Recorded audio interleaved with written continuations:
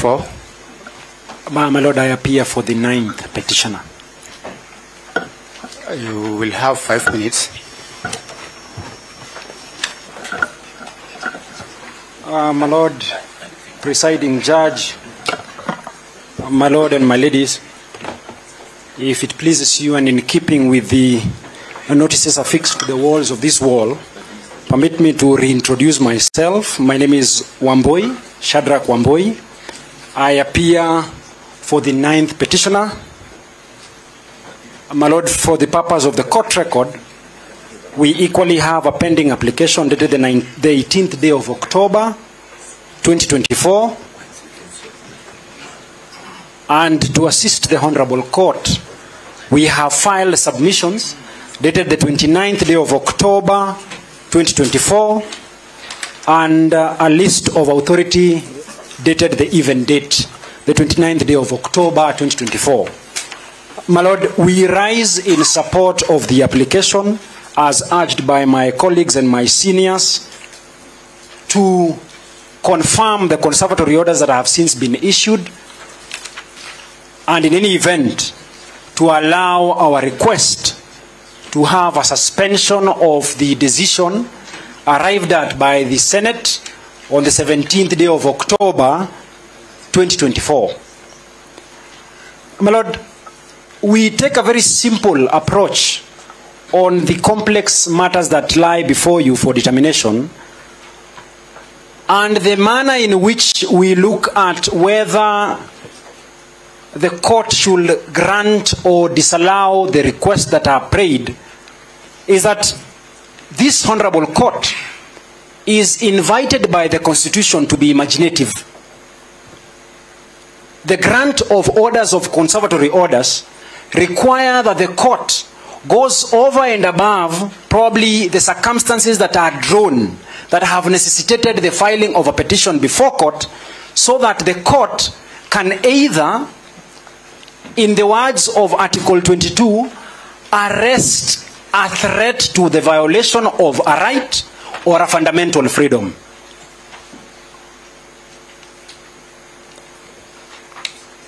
My lords and my lady a doctor for you to imagine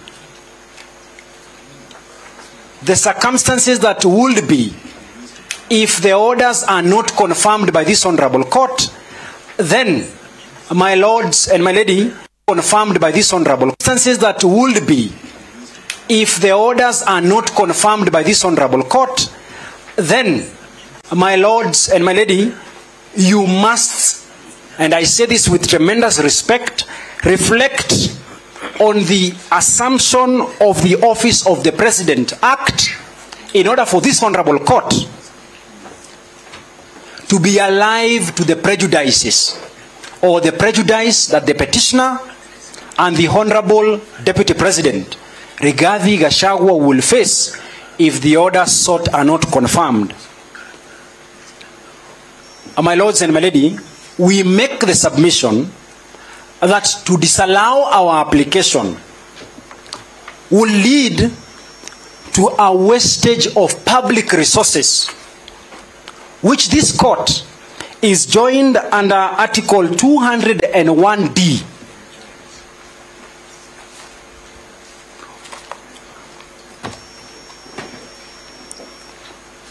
My Lord, this court is empowered or given the obligation under Article 201D of the Constitution to ensure the prudent and responsible way of the use of public resources. So that, my lady and my lords, the denial of the reliefs that we seek will automatically prompt the swearing in of the person of Professor Kiture Kindiki to assume the office of the Deputy President Rigathi Gachagua. My, lady and my lords, pursuant to Section 12, Section 12 of the assumption of the office of the President, this must be done first within the capital city of the Republic of Kenya, which is in Nairobi, And secondly, on that date when we are supposed to have the swearing in of the deputy president, must be a public holiday. My lady and my lords, while being treated to a public holiday might not seem to be a bad thing, as it will give the court and councils an opportunity to rest. It's a bad thing for one that, firstly, Kenyans who live from hand to mouth will have to take rest.